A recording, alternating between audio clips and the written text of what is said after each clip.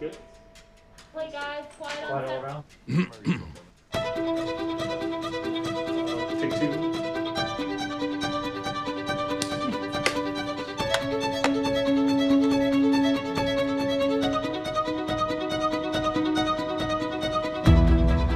There are certain things that emerged in that time in my life.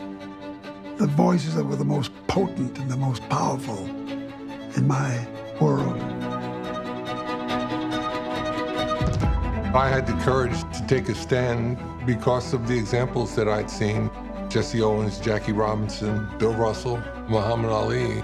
I stood on their shoulders. I followed their example. Once you start looking at us all as human beings, you no longer accept economic differences and racial differences and ethnic differences. My grandmother would always just say, Come sit next to me. And I say, Why? She's because I want you close. I think about those moments as some of the most meaningful and empowering moments of my childhood. I wanted to please my dad more than I wanted to please my mother, yeah.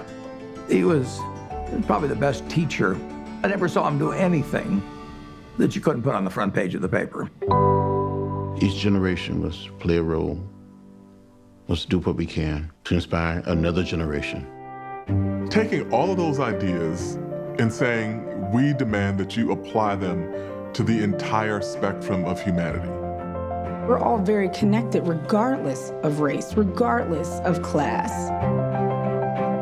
Ours is a people's democracy.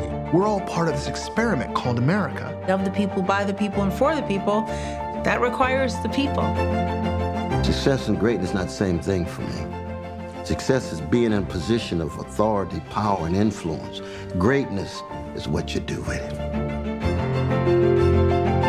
It's interesting. I mean, I can lay out the whole story if you'd like. There's a whole story there. What's the story of this? We're really going to get the inside story. It's a sad story. The story will be told, and that my camera gives me the power to do that. The story of the movement. Good storytelling has a lot to do with empathy. Enmesh yourself in somebody else's life and document it.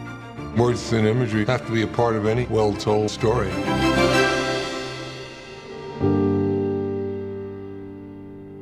When you get close, you hear things you can't hear far away. You see things you can't see far away. And that intimacy, that proximity is key.